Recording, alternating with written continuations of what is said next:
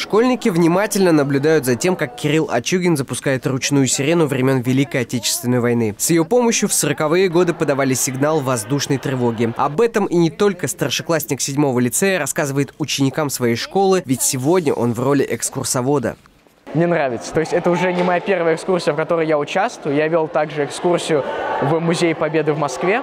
И мне всегда, мне, во-первых, нравится история, и мне нравится об этом рассказать другим людям. Мне нравится почитать что-нибудь историческое про мою страну и про другие страны.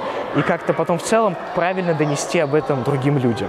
Донести историческую правду до аудитории старшеклассники хинкинских школ смогли в рамках фестиваля школьных музеев, который проходит в эти дни в музейно-выставочном комплексе «Артишок». Здесь собраны сразу 19 экспозиций, посвященных истории сражения разных эпох. В качестве рассказчиков выступают сами ученики. Мы очень долго готовились. Когда начиналось э, открытие этой выставки, мы проходили по каждой школе и пытались понять, что ключевое мы можем вынести из школы этой, что мы можем рассказать и что вот больше всего может проявить внимание.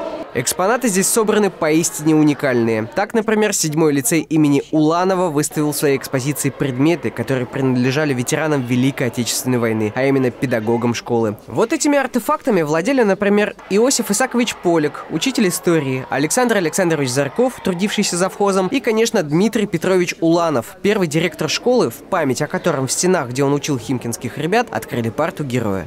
Подобные выставки, они чем и хороши, то что они э, ну, заставляют, как бы, можно прикоснуться к истории, да, вот посмотреть на те вещи, которые принадлежали людям, ветеранам Великой Отечественной, ветеранам Афганистана, ветеранам э, специальной военной операции, которые здесь вот все представлены. Да. Вот, я думаю, что это надо продолжать и развивать дальше.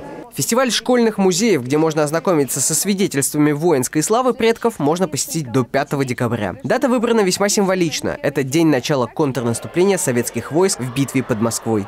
На это наша экскурсия подходит к концу. Спасибо вам большое за внимание. Андрей Панченко, Руслан Сафин. Новости Химки ТВ.